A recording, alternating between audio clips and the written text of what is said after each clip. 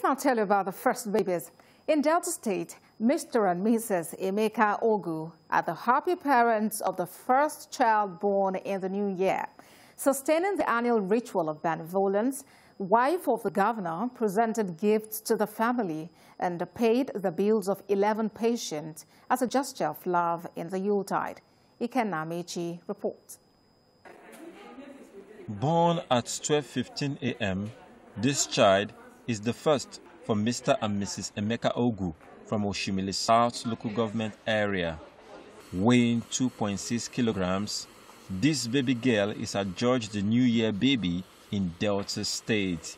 It is a yearly ritual of the wife of the Delta State governor to visit a hospital and celebrate with the parents. See, being in the maternity ward, all of us, so many of us have been here.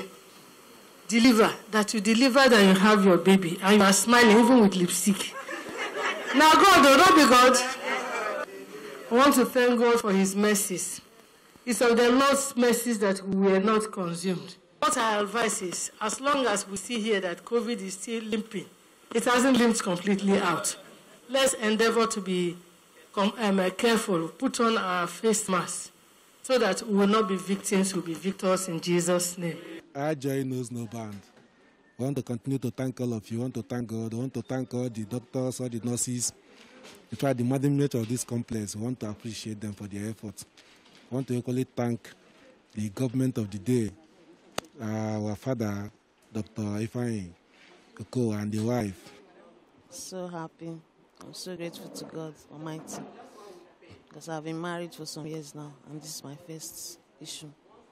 Mrs. Edith Okowa has gift for other nursing mothers at the medical facility, extending the gesture of love to the Federal Medical Center in Asaba. The bills of 11 patients were taken care of by the wife of the Delta State governor. 11 patients are being sent home today to go and spend the new year with their families. And a total of 1,434,000 naira was paid today to defray their bills. So, on behalf of our patients and the staff of the Federal Medical Center Asaba. we want to say thank you to Her Excellency.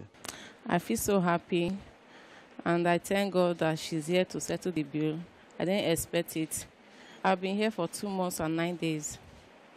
With their medical bills settled, these patients can now go and reunite with their loved ones and celebrate the new year. Ikenna Amechi, TVC News, Asaba.